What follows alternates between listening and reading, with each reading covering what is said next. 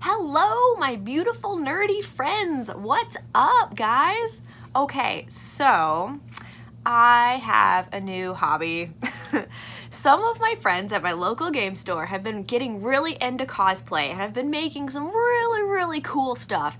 So I've been hanging out at my game store and I've just been like watching what they've been building and making because they bring stuff in to show everybody.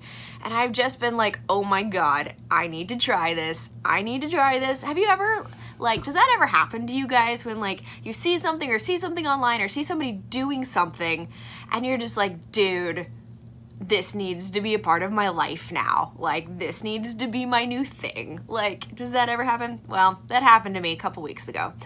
So I ran to my local Hobby Lobby and I've been watching a bunch of like cosplay YouTube channels and stuff like that. I got a bunch of stuff in order to get started into the cosplay hobby. I'm thinking I'm just gonna start with like some small weapons and daggers and stuff like that. Maybe like um, make some Daedric daggers from Skyrim. Um, but anyway, I'm not entirely sure what I'm gonna make first, but something kind of small. But I wanna show you everything I just got. So this is gonna be like my starter, cosplay, just jumping into the hobby haul. So like all the basics. There's still a few things that I need. I wasn't able to find a few things, but let me show you what I did get. Before we get started though, give me a thumbs up. All right, very first thing, most important, is EVA foam. I got, this is gigantic, and there's not enough room to really show it to you guys, but I got some really thick, big roll of EVA foam. It is high density. This particular roll is 10 millimeters thick. So hopefully I'll be able to make some really cool stuff with that. But then I also got a thinner roll of EVA foam as well. And this one is three millimeters thick. It is basically just gonna be used for um, embellishments, I think, and things like that. So this one is a lot thinner. So anyway, here's the foam that I got. Then I, dude, you guys, this though, this next thing I'm gonna show you, I am so freaking excited about. I have seen so many people make really, really cool stuff with this online on all the cosplay YouTube channels that I've been watching. And this is basically foam clay. So it is a clay that's a foam and it like sticks to It'll stick to your EVA foam if you get it wet, so you can mold it and shape it and do all kinds of crazy cool details and stuff. I cannot wait to see what I'm gonna make with this stuff. All right, so there's that. Um, I also got a couple cans of this. Ouch. Ow. I just hit my elbow. I also got a couple cans of this. This is called Plasti Dip.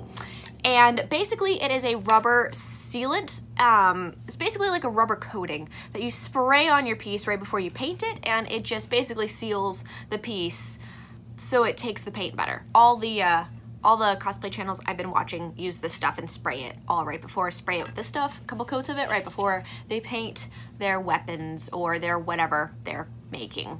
So I got a couple cans and I also went to Home Depot. I got some PVC pipes.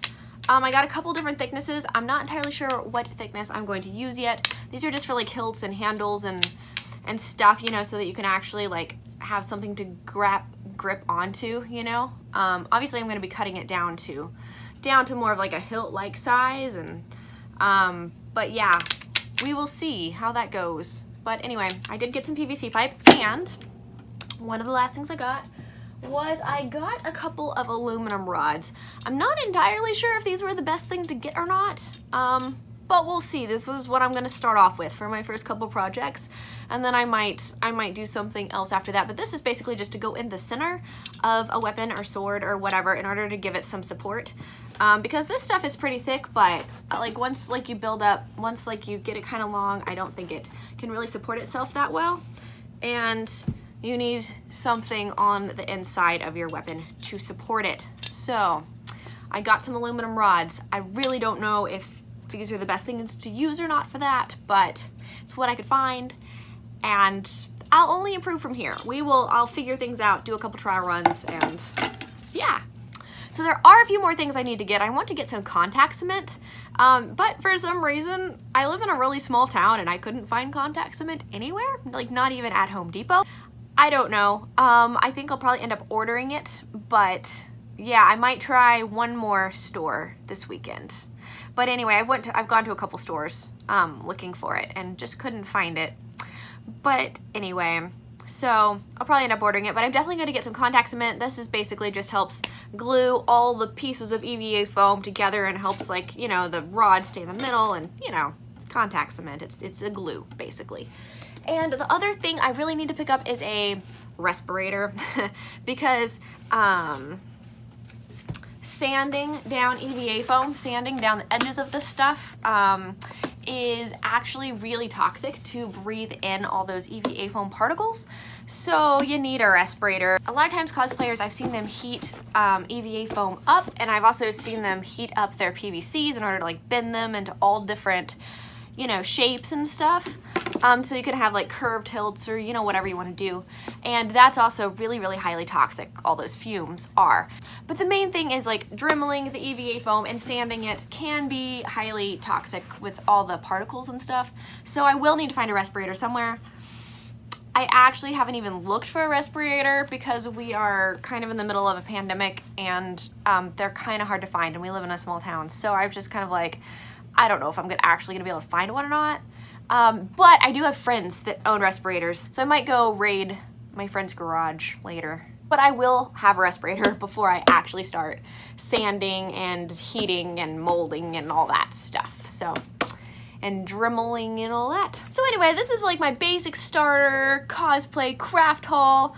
I'm gonna go make something. I'll let you know how it goes. I'm gonna make something small, just start tiny, you know, and work my way up from there. If you are a cosplayer and you know things, let, let me know. Give me tips in the comments below. Also, if you guys follow any really cool cosplay YouTube channels, leave the links to those YouTube channels in the comments below as well. I would love to check them out. If you have a cosplay YouTube channel, let me know. I will definitely check out your channel. I would love all the tips that I could possibly get. And I'll let you guys know how my first build goes, whatever it is. If you have not subscribed to my channel yet, hit that subscribe button so that I can see more your face and you can see more my face. I will see you in the next video very soon. I love you. Bye.